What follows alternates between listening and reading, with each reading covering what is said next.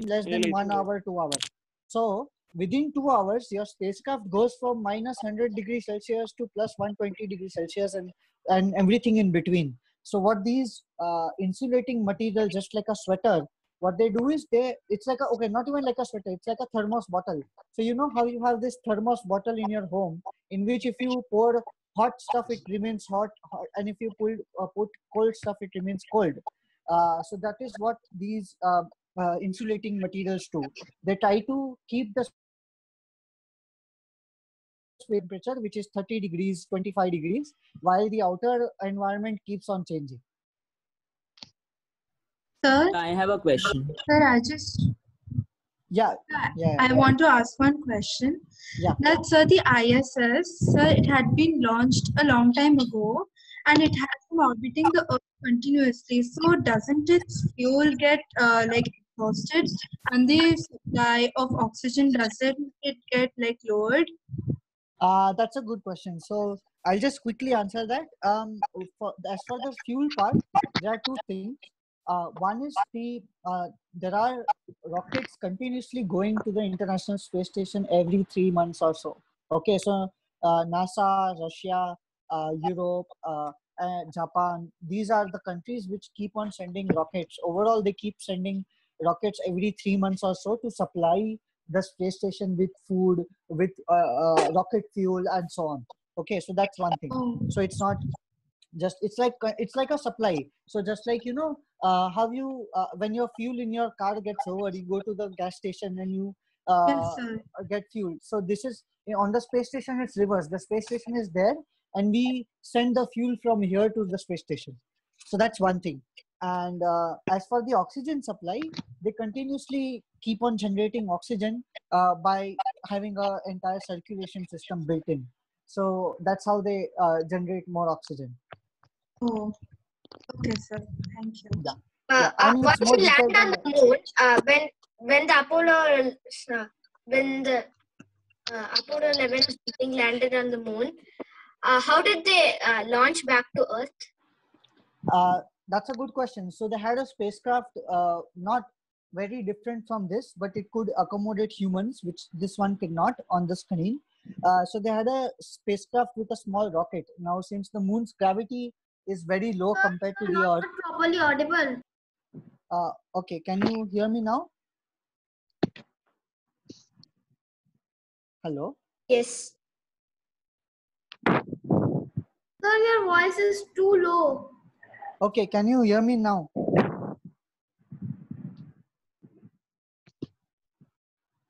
Hello. I can hear you. Yes, Jatan, you are audible now. okay okay so so basically uh, since the uh, you know uh, moon's gravity is very less compared to the earth you just need a very small rocket to get out the out of the moon but if you want to get out of earth you need a very huge rocket so what they did was uh, if you see this image it, this is not the spacecraft that they used but just to give you an idea uh, so this image had if you imagine humans sitting here with an enclosure around them of course for their safety and this lower area where my cursor is, there's a rocket engine that you can see uh, if you look closely.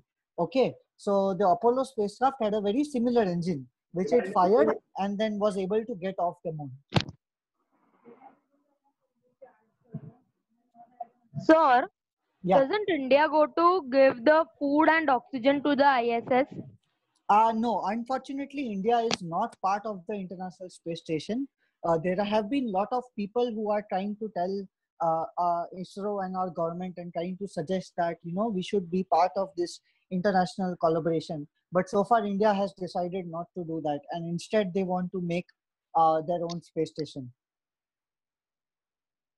Sir, is it true or fake that um, uh, China is making a artificial moon?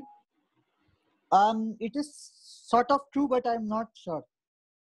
But it's it's not a very big moon. It's a very small thing. So I have a uh, question. Uh, okay, so just let me interfere here one sec. Uh, if the question is related to the moon, we can take that. Otherwise, Yes, uh, sir. is It's it's of- related to Apollo 11. So can Yeah. I speak? Yeah, yeah. Uh, Sure. So so we saw that uh, during the launch of Apollo 11, uh, Saturn 5 was used to launch the whole uh, mission. You know. right But why are we using uh, another rocket like Artemis mission? You know, that's mission scheduled for 2024, and we are using a different lo- rocket. But why? Is there any reason? And we are spending a lot on its research. So, right so, is there a so the? That's a good that's a very good question. So the first thing is uh, saturn 5 was an amazing rocket. It's actually one of my favorite rockets ever. However uh, it was built in the ti- 1960s and there are it there are certain things that they did at the time because uh, the technology was not as mature at the time as it was today. Uh, so which makes the saturn 5 more expensive if you are to build it today. But now what they are doing is the rocket which you are talking about for the new mission to the moon uh, by NASA is called the SLS. Uh, the SLS is essentially like a Saturn V, but built in a more efficient way. So now we have better industrialization methods, better methods to you know bend the metal and so on. So uh, the the new rocket SLS will be almost the same. Will have almost the same capability as the Saturn V, but it will be a little bit cheaper than the Saturn V. And there are other rockets also which are part of the same mission. So uh, the new moon missions to the moon will not be the same as the Saturn V ones. Uh, these the, the other rockets will be even more cheaper uh, for the job that they do. So this time when we go back to the moon, we will have rockets which do the same job but which will be much more cheaper compared to the Saturn V. Sir, thank you, sir. Yeah. if uh, we know that that NASA is going to conduct lunar missions in future. Yeah.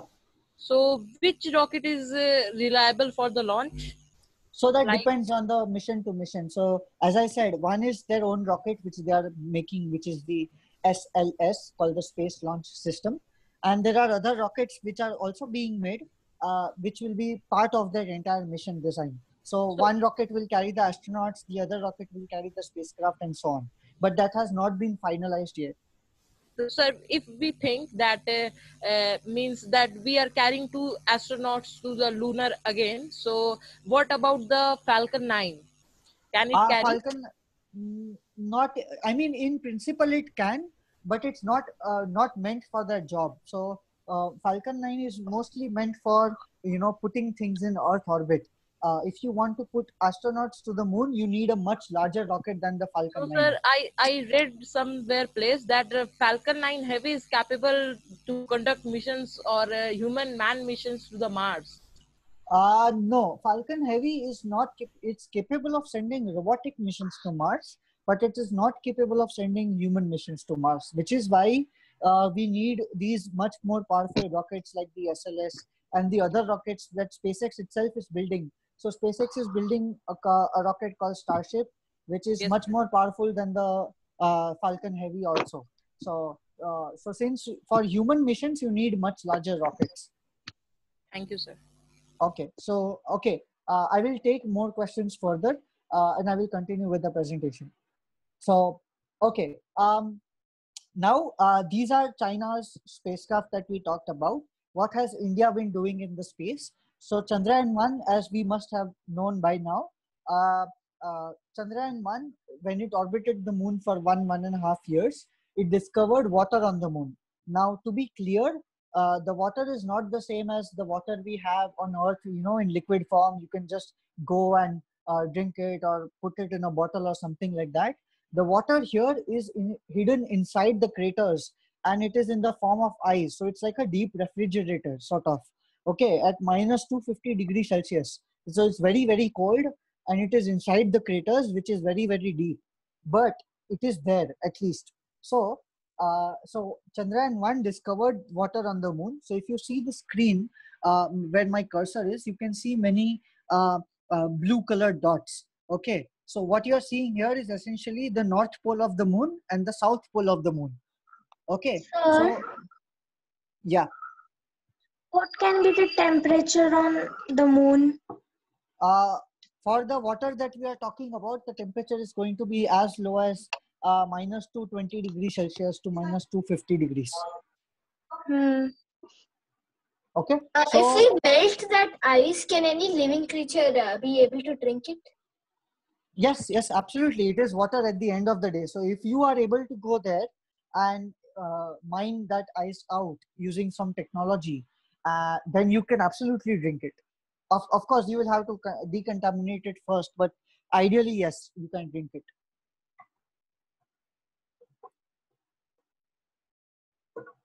Okay, um, going ahead. So, Excuse me. Can I yeah. ask something? yeah, sure. So the oceans on Earth, even they can uh, uh, get evaporated because of sun heat. How come this water is uh, not affected uh, because of sun heat? Excellent question. So uh, so what happens is uh, these water ice is buried inside the craters on the poles of the moon. So and the moon so for example if you can see me right can you see me right now? Yes, I can see you. okay. So you have let's say this is the moon okay? Yes. this is this is the north pole of the moon and this is the south pole of the moon. And the sun is somewhere here okay? And the sunlight is coming like this and uh, the sun the, the moon gets most of its light uh, in in these equatorial regions. But the north pole and the south pole if you're there on the poles of the moon then you will see the sun very low in the sky because you're at the top and the sunlight is coming like this right? So sun will be very low in the sky. Now on the pole of the moon if you have a very large crater then those craters will have walls right so the sunlight will not be able to enter inside those craters. And therefore and those craters are deep. So the craters can be as deep as 20 kilometers for example. So if there is water ice inside that crater then it never sees sunlight. So these blue areas on the screen that you see those areas have never seen sunlight for 4 billion years. So it's frozen since then. So it's like a you know large time scale refrigerator. So the moon is like a huge 4 billion year refrigerator that we have gotten for free. So uh, that is how the water ice there is preserved. So uh, sorry you're breaking. Yeah, I'm sorry. Are the left and right images the North Pole and South Pole respectively? yes. Yes yes yes. Okay, thank you. So why we can see uh, that uh, the North Pole, the blueprint of water on the North Pole is a bit more as compared to the South Pole. Is there right so right right. So that depends on the local you know geology and the local topography. What i mean by that is uh, you know there are uh, you, you can see the craters are very different on the north pole and the south pole. And that's just like saying you know india looks different than africa right? It's just the topography of where india is and where africa is. So because the north pole has more craters in a very dense in, in a very dense fashion it has more water ice compared to the south pole. So that's just the topography. Yeah. Thank you, sir. Yeah. Okay. So basically uh, chandrayaan 1 uh, india's uh, satellite found these water ice on the moon and later uh, and, and and just a note here i have an article on uh, just this exact discovery. So because you know many people think that it was only india who discovered this water ice but that is not true. Uh, the instrument on the chandrayaan 1 satellite there were two instruments which discovered water. Both of those instruments were contributed by nasa. The reason i'm saying this is that science in science there is often more collaboration than you think.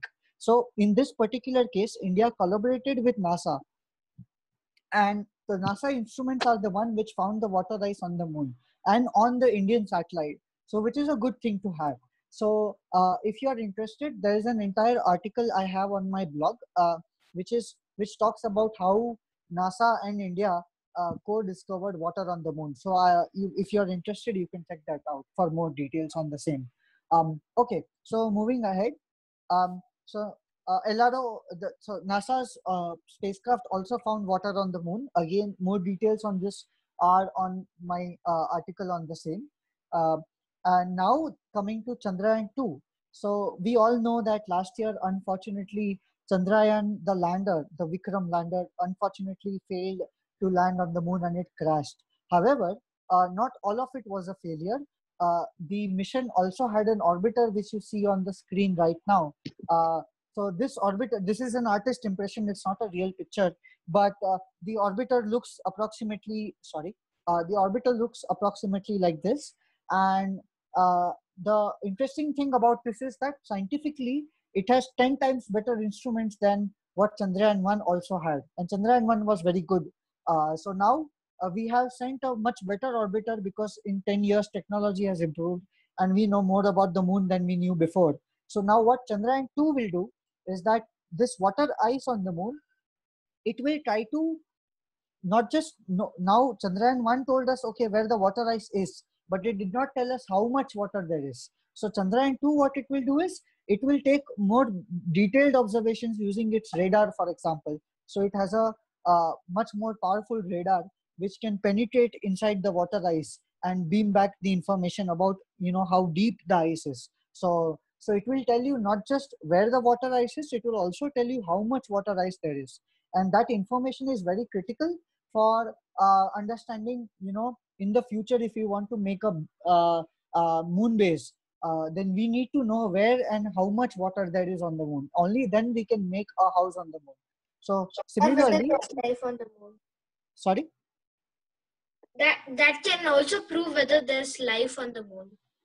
Uh, yeah, but it's very unlikely. Although, yeah, in principle it could. So, uh, uh, on a similar note, so Chandrayaan 2 will try to see how much water there is. Uh, now, there is a NASA mission called uh, Viper. What it will do is, as seen here in the image, so it is a rover which will land on the moon and then it will explore this pole. So, it will land somewhere on this, uh, on the north pole of the moon. It will land somewhere here where my cursor is. Okay so and it will go inside the crater and it will try to see if it can extract that water from the crater and use it for and you know how easy it is to extract what is the property of the water ice and so on. So it is like a high level technology mission by nasa which is very interesting and i'm looking forward to this. It will launch in 2023 so 3 years from now you can look forward to this interesting mission launching. And it will bring us one more step closer to having a moon base. So uh, this is an artist impression of what a moon base could look like once we know how to use the water on the moon. Okay, so once we know how to use water on the moon and once we know how to use the uh, uh, uh, the the uh, lunar soil which is uh, rich in metal, so the soil on the moon is very rich in metal, so we can use that to build the houses, for example. So once we know how to use the metal and the water on the moon, we can build uh, start building uh, homes for ourselves uh, which are sustainable. We can you can see solar panels here you can see a rocket going up from the moon uh, you can see astronauts taking a picture and so on. Okay so this is what a future moon base might look like. Sir, yeah. Sir, but uh, we would we would all time need to wear a spacesuit there. Because Correct, of but- the pressure and but not inside when you're inside the dome. So this this picture that you see uh, you see the open area right? That's a cutout. This will be completely shielded. This is just opened up by the artist yes, to yes. show you how it will look. So inside if you see the the people are not wearing wearing spacesuits. So it would be maintained. yes it would be maintained yes. Complete so it's Oh. like a mini you know it's like a mini international space station but on the moon But it would be even expensive as well. Making yeah yeah yeah But why are we trying to make a moon base? yeah that's exactly why i have the further slides so let me come to that Sir, sir, how Yeah. much time will we need to make the moon base if we know how to use the water and the metal in the soil? That's an excellent question. If we make this as our goal of people on Earth, and if we try to make technologies to make a moon base, then I think we can make it in less than 10 to 20 years. Sir, I had one more doubt that how Yeah. much temperature will we need to melt the water ice? Uh, the same as you have on Earth, you just need to melt it at zero degree Celsius. But in any way, 100 degree. Oh, so no, no, melting of the ice, right? It's not melting of water. But uh, ice freezes, water freezes at zero degrees. Yeah, so if you have one degree Celsius, it will melt, which will be- become liquid water just like you have in your home right now. Excuse me. I want to ask one question. Yeah. So about the soil on moon, how do we know that it is compatible for construction? What makes it compatible for construction? What kind of soil is that? Right. So, so a lot of the soil on the moon is volcanic. That means uh, you know, uh, there are components in it which are from the inside of the moon, which are metallic in nature, and there are some glass components inside it because the moon was at some point in time uh, volcanic. So just like you know, for example, on Earth you have rock which is rich in silicon, right? And you have uh, metals also which can be extracted from the Earth uh, uh, underground and so on. Uh, so similarly, the moon is not not different. The moon is just another object. So from orbiter data and from the spacecraft that have landed there, we know that the moon is rich in uh, metals like aluminum, and aluminum is a very widely used metal in the industry. And we know that the moon is rich in titanium, for example, and titanium is also a very widely used metal. So these are just two examples, and there's also a lot of silicon in the form of uh, silicon dioxide. So we know that the moon has a lot of these uh, elements which are required to build a base. So we can do that. Sir, but Yeah, thank you. living on moon and making changes uh, there, so wouldn't it affect even the Earth? Because moon, because of moon, there are tides on Earth and Right. various things. So No, so because I mean the base would be so minuscule. I mean, if you look at Earth, uh, even all the uh, be, despite all the so many hundreds of cities that we have built on Earth, and hundreds and hundreds of cities and lots of metal, railroad, uh, aeroplanes, the Earth's Earth is so much more bigger than all of our engineering combined that the fraction of the mass that we have added to Earth is very minuscule right? And so similarly if you build a very small moon base on uh, moon base on the moon it's not going to be any different. It's not going to affect the moon in any way okay, thank you. okay. So um, i'll move on. Uh, okay. So someone asked the question of why do we want to make the moon base in the first place? So that's exactly why i have my further slides. So the thing is uh, okay not here. Yeah. Okay. So the thing is the i mean a lot of people have asked the larger question people have asked is why do we even need to explore space? And that is also the topic of today's session. So uh, the the simplest answer possible apart from curiosity. One is that you know curiosity is one good enough answer why we need to explore space. Because you want to know more about the world that you have and the universe is so much more bigger. But if you want to get practical uh, the answer is that the earth is not here forever. So even if we make all the effort to make earth life better and amazing at some day, at some point in time someday the earth will not exist. And why you know one reason is on the screen. You know we may have a world war 3 uh, and that's unfortunate but it can happen. And you may you know there may be nuclear weapons used and humanity may not survive. So that's one human reason. But there are also natural reasons. For example um, uh, the dinosaurs how did they die? Uh, a large asteroid came from space and uh, collided with earth and that completely changed the earth's climate for a long time. And the dinosaurs simply could not survive in that toxic environment. And despite the fact that dinosaurs were on earth for 500 million years or so which is much much larger than the time that we have been on earth despite that they could not see the asteroid coming. So if a large asteroid comes from space and hits the earth and we are not able to use our technology to divert it then life on earth will not survive so that's another reason why earth may not exist even though uh, it's nothing that we did. Um, there's another reason. Assume that Sir, uh, uh, are we uh, prepared to launch any th- things with humans to the moon or any place if uh, by chance an asteroid hits Earth? not right now. That's the unfortunate part. So right now if an asteroid decides to come tomorrow let's say then there is no way that we can do anything about it. So even with all of our technologies which is why the focus is on building technologies now in the future where let's say if we get to know 6 months in advance that an asteroid is coming and we get to know that via uh, uh, the telescopes that we built and we talked about earlier uh, so if we get to know six months in advance, we might be able to make a rocket which goes to the asteroid and tries to, uh, you know, divert its path so that it does not collide with Earth. But that's just one possibility. So now the thing is, even if we assume that Sir, with we can yeah. even uh, go to Mars. yeah yeah so uh, i'm coming to There's a chance. yeah, yeah i'm coming to that i'm coming to that so that's the whole point so uh, so let's say even if we are able to steer away an asteroid uh, using our technology uh, it's some even then there are threats to earth for example the sun is not going to last uh, forever. So right now the sun uh, it's very big but it's still very far away. Uh, but uh, in 4 billion years from now the sun will start becoming bigger and bigger. So on the screen if you can see on the left the the sun is how it is today. And the earth is where life is very comfort- comfortable. You are not uh, uh, conditions on earth are not too hot not too cold and you can exist very nicely. Uh, but in 4 billion years or so the sun will start becoming bigger and bigger and that's what you see on the right. So the earth will be much more closer to the sun than it is now.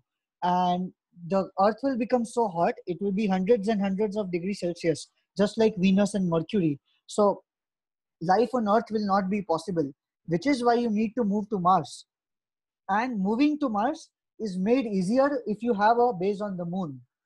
Okay so the moon is like our test practice. So if you give a test exam you prepare for your technology on the moon. Because the moon is closer to us you can test your technology on the moon. Once you know that it works you can then deploy it on mars. Okay and once you have your life on mars you have a uh, base on mars then you are um, safe for a very long time but not for too long uh, because the sun will start keep on getting bigger and bigger. So even mars can for example become much hotter. So which is when we need to move to another star system. Okay that is why we study something called exoplanets. So have you heard about exoplanets? No. okay. Yes, okay sir. so for those who don't know uh, exoplanets are basically planets but not around our sun. They are planets around other stars. Okay. So the stars that you see in the sky uh, a lot of those stars have planets around them and we can discover those using our telescopes. Okay. So it's not our sun is not the only star with planets around it. There are other stars with planets around them so what we do is since the last 20 years or so uh, we have been this or even more than that actually we have been using telescopes uh, on earth as well as in space like this kepler telescope for example to find uh, planets around other stars okay? So- in, yeah.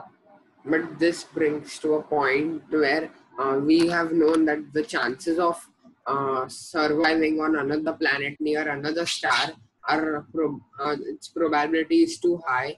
So till now we haven't found out another human life or alien life like uh, it. yeah yeah we don't need to know that. I, I will come to that in in a bit. So just give me some time. Uh, I, I'll, I will answer your question by uh, going through the slides. Okay? So um, so till date what we have done is we have just like by finding planets going around other stars uh, we have found till date more than 4000 such planets. And we have only looked away. It's like if you imagine the entire sky is an ocean then we have barely looked in you know a, a bottle full of water. There's an entire ocean of stars that we have not looked at. So there are many many more planets that are yet to be found. Uh, but even then 4000 is still a lot of planets right? So uh, and these are in stars which are near to us. So what we started doing next was scientists started looking at which of these 4000 planets are planets where we can survive on where there can be life potentially just like there is life on earth. So if we build a very big rocket in the future let's say uh, 500 years from now can we go to this planet around other star and can we survive there? Okay. So that's the question that scientists have been trying to answer. And the fortunate answer is yes. Uh, so there have been many types of planets uh, that we have found. So we have found jupiter like planets and we have found smaller planets uh, like mercury and we have found earth like planets. So the earth like planets are what we are interested in. So here we are showing in terms of size but i also mean earth like in terms of conditions. So for example below uh, there are some many planets uh, uh, uh, shown these are not actual pictures. These are artist impressions. So uh, but they give you a rough idea of the fact that the planet is somewhat earth like and they exist in the star's uh, habitable zone which means just as earth exists not too far from the sun and not too close to the sun uh, these planets also exist in the right area where uh, there can be liquid water for example on the surface. And it is possible that with more research we are able to find just the right planet that we can move to in the future when our sun will not shine or when our sun will not be uh, feasible for having life around. Okay so this i think should answer the earlier question as well. So uh, yeah so there's another uh, so this is one system so apart from these planets that we talked about there's an interesting star system that we found. So remember the spitzer telescope that we talked about in the earlier slides. Uh, just let me go back quickly. Um, yeah, so you can see Spitzer here uh, in the left. So this telescope by NASA, uh, a few years back, what it did was, um, just a sec. Yeah, a few years back, what it did was, it found us seven planets, not one, not two, not three, seven planets around a star which is 40 light years away which means light takes 40 years to go from here to there. So, um, so it found seven planets around these stars, of which three of them are in the right habitable zone. So this is a very promising star system where in principle, maybe our future uh, uh, successors might uh, go to this planet to live uh, for a very long period after the sun is no longer alive. So this is one promising planet and I have you know more details about uh, these things on my blog as well. So if you want to know more about the details of this i have articles on that as well. So just go to my blog and search for exoplanets and you will get all the articles on that. So just a sec. Yeah. So there similarly we have found one earth-like planet around the nearest star. Yeah you told it is 40 light years away. So yeah. going there would be uh, very, very difficult because even light is taking 40 years to reach there. Correct, then correct. the how how much time we would take. Yeah, so so which is why uh, right now there is no technology available to cross that distance in any meaningful way possible. Uh, but uh, there are potential things that people are looking at, for example, nuclear uh, fusion powered rockets huge huge rockets. Like saturn 5 will be very small in comparison. So these huge rockets will be able to potentially if maybe 500 years from now when technology advances you might be able to build a rocket that goes there in about uh, you know 100 years or so. So for example uh, 40 light years is still very far. So which is why this if you look at the screen there is this planet uh, whose artist impression is there on the screen it is only four light years away. And four light years is relatively small in the large uh, astronomical scale. So if you build a rocket, for example, which travels at 10% the speed of light, then in just uh, uh in just 40 years, you will be able to reach this planet. And in just 40 years, just is used because it's very far away. So 40 years is really just. So, uh, but it is acceptable if you want to live when the sun will no longer allow you to live right? So that's one of the reasons why we explore so much money put so much money in space exploration. It is because we want to survive. Um, so uh, that, excuse uh, me sir. Yeah. I'm sorry to interrupt but uh, sir there are as you said that um, uh, in some time the sun will come closer to earth and then we will have to shift to planet mars. Right. so so um, there are so many people on earth. How will all shift to mars? Right right. That's a very good question. So it's something that we don't have an answer to yet. But the idea that people are uh, you know proposing is that let's say find uh, this this uh, this sun becoming bigger thing is a very uh, you know for 4 billion years into the future. So the hope is that by then technology can improve so much that you can build very very very big rockets and you can send uh, thousands of humans in one single rocket. So over time over many many years and hundreds of years you will be able to send uh, a lot of the human population on mars. Uh, so that is one of the thinking behind uh, having um, having shift uh, shifting to mars for example and then shifting to another star also can be done in a similar way But then, sir, there is so many uh, like uh, useful things what humans need to survive, like water. Um, right right where will that that uh, from where will we get that? that's a very good question so uh, a lot of the water can come from the moon for example i just showed you that the moon has a lot of water right? So a lot of the water so uh, taking water from the moon to mars is much easier sorry uh, much easier than taking water from earth to mars. Okay that's one. Second is mars also has uh, ice poles. So even mars can be mars uh, the poles of mars can also be used to extract water. So that can be another water source. So we can use a lot of the metals and uh, uh, uh, water and other resources available on the moon and mars to power our future journeys so we don't have to necessarily rely on earth for everything So Okay, sir. even Yeah. one theory suggests that uh, first we were uh, habitat. Uh, so first we used to live at the Mars. Then due to uh, uh, they got to know that asteroids are approaching, so they sent a pod to the Earth, and then we started relocating the Earth. So now it is Uh, again possible to relocate Mars. Uh, no, uh, firstly, that theory has never been proven.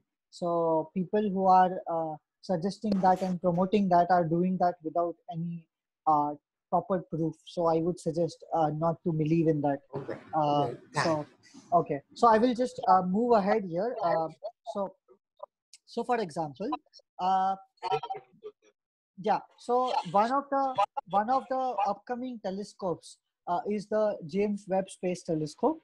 Uh, on the right in the screen here, I where my cursor is, uh, I have uh, a comparison of the mirror of the James Webb Space Telescope compared to the Hubble. Okay, so you can see the James Webb is much bigger, and it is going to be the largest space telescope that will put in space. So the launch is next year sometime, and NASA and Europe are collaborating on this. The reason this telescope is very important is like it's the combination of Spitzer telescope, which looks in the infrared, and uh, the sensitivity of the Hubble telescope. So if you combine both of that and you make the mirror bigger, that that is when you get the James Webb Space Telescope. So this telescope will be able to identify if there is potentially life on other planets, uh, which we saw here, for example. So James Webb will let us know if there is a possibility of life on this planet and even if not, it will also tell us that whether or not we can live on that planet in the first place. So that will help us plan in the future when we want to migrate as to what we should do. So that is one thing, and it will also tell us about uh, where the how did the universe form and how did the first stars of the universe came into being and so on. So this is the next Hubble, and it will launch next year, and it will give us scientific data for tens and 50 to hundreds of years to come. So I I I uh, I ask you to learn more about it and uh, see what it will be able to do. So that's one thing. And now, uh, close. Sir. I would, yeah.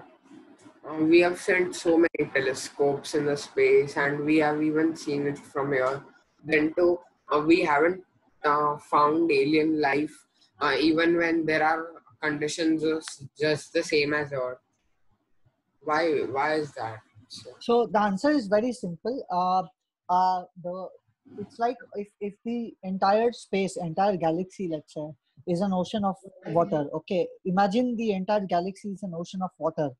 Our all of our searches have barely been on the shore. So it's like we go to the beach and then we look around with our eyes and then we take a bottle of water and then we come back.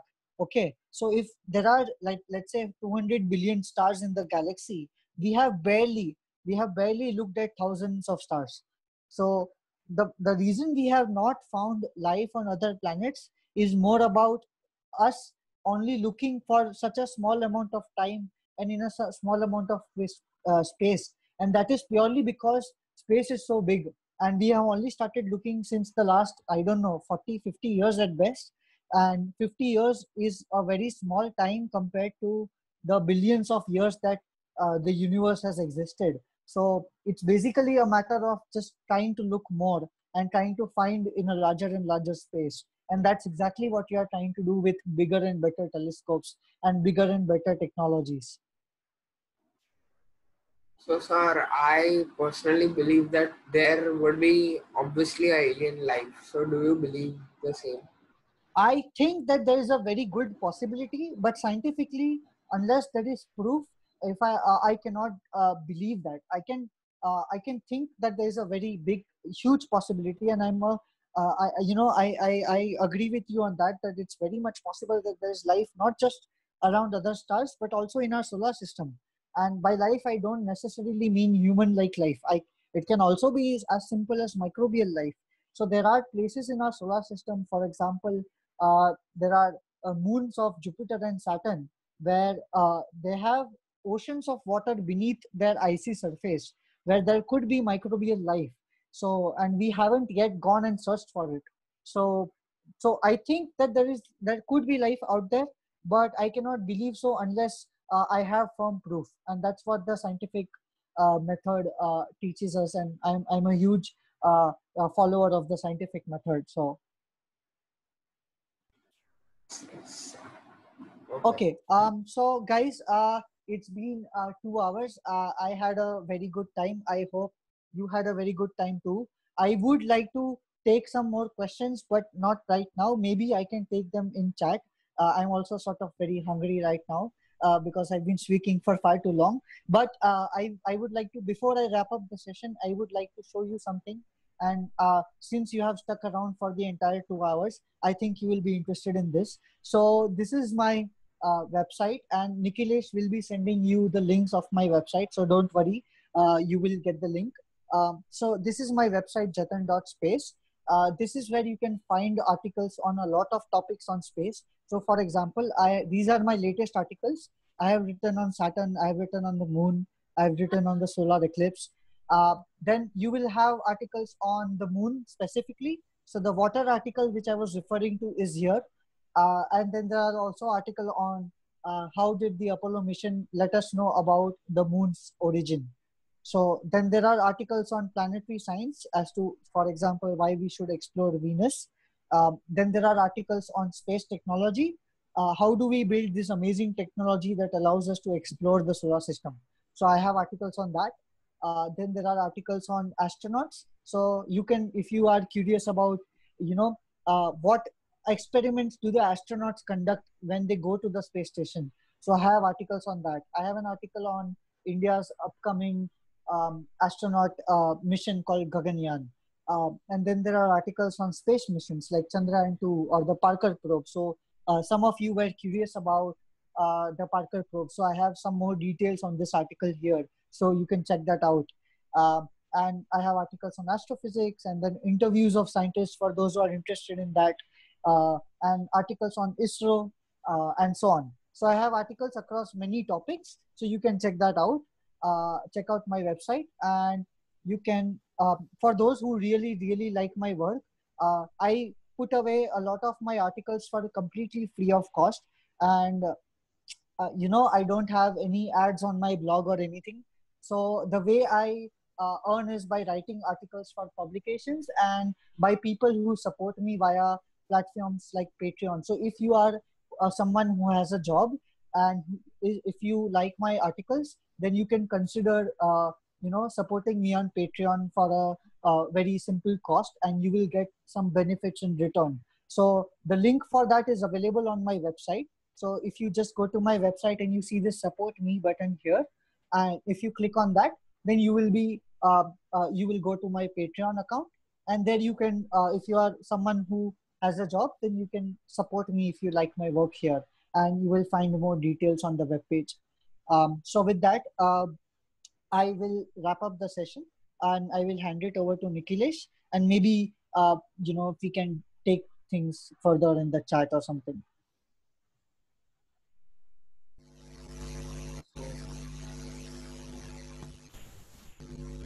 You. Yeah. Nikhilesh?